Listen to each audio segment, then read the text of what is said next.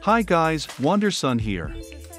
A quick video today just showing how easy it will be to create pages for your application on the PyOneDark interface.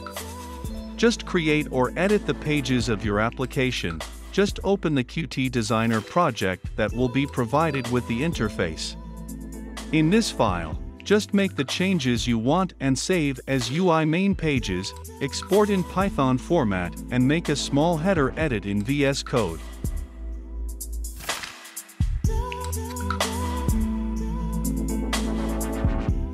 where you just need to import the Qt modules as shown in the video and your changes will work successfully in less than one minute.